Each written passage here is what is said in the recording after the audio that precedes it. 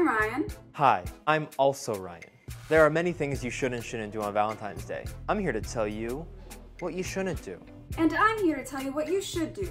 The first thing you shouldn't do is get in a car crash on the way to your date. Not only does that inconvenience your date and you, but you also have wrecked your car.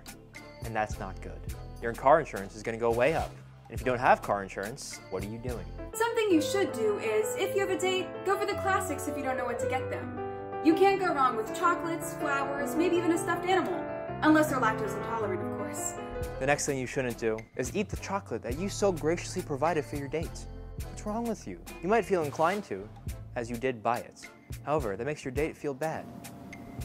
And that's not good. If you aren't in a relationship this Valentine's Day, go on a friend date. I think there's no pure love than friendship, and there's far less embarrassment when romance isn't involved. The third thing you should not do is watch The Notebook. Who's in that, who's in that movie? Who's, is Watch the Notebook, starring Ryan Gosling and Rachel McAdams. Watching The Notebook with someone embarrasses yourself, and watching it by yourself makes you even more sad. Don't do that. Don't do that at all.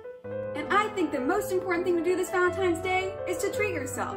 You are the most important person in your life and you deserve to feel that way. So put on a face mask, watch your favorite movie, and indulge in some self-love this holiday. The fourth and final thing you should not do is send yourself flowers. You might feel happy and complete and full on the inside when you receive them. I literally went against what I just said. but you'll soon realize that you sent them to yourself. You spent your own hard-working money on yourself.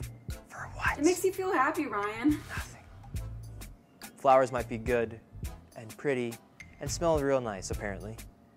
But if you send them to yourself, You should totally do that. you'll just make yourself depressed. And that's not good. You don't want to be depressed. You want to be happy. This has been What not to do What to Do on Valentine's Day with Ryan. and Ryan. We'll see you Guys, guys next time.